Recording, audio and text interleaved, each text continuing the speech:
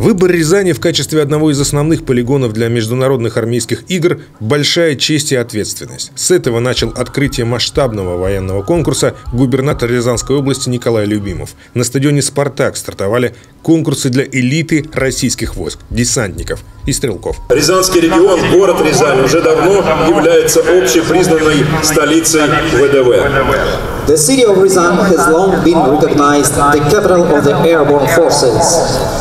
И все жители по праву гордятся этим почетным званием.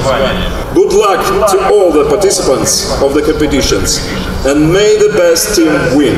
Если на открытии десантных конкурсов международный характер состязаний подчеркивали переводом на английский, на нем же Николай Любимов завершал свое выступление, то в Дягилево речь Анны Росляковой дублировали на китайском. Сборная КНР – полноправный участник армейских игр и авиадарца. Готовит сюрпризы. Седьмой год подряд мы принимаем масштабные соревнования, которые служат развитию партнерских отношений во имя мира и безопасности. 我代表全体同胞感谢俄罗斯国防部和空天军司令部连续七年举办大型比赛。这个比赛使我们发展伙伴关系，更加巩固和平安全。В этих международных соревнованиях принимают участие наши друзья, наши партнеры и наши союзники. Китайские летчики будут выступать впервые на самолетах Дзянь-16Б.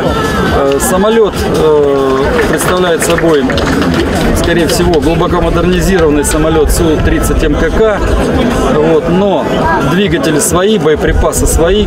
Причем боеприпасы мы такие э, у них видим впервые тоже. Условно, впервые в Рязанское небо поднимутся и белорусские летчики. На прошлом этапе их не было, но Рязанское небо опытные пилоты уже изучали раньше. В программе 7 номинаций, насыщенных сложными элементами пилотирования боевого применения авиационных средств поражения. Боевое применение мы выполняем э, с двух заходов, э, стреляем, пускаем нары и непосредственно стрельба из пушки. Э, у нас стоит пушка ВШ-230 и с нее выполняем применение. Подготовка у нас, как правило, начинается за полгода.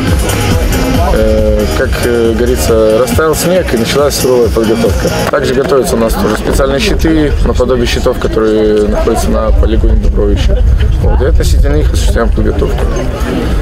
Э, также у нас военно-транспортные вертолеты готовятся к так называемому ПСР. На заключительном этапе конкурсные задания немного усложнили для эффектности и эффективности. Обязательно воздушный бой парами сделали. Вот, это что касается истребителей.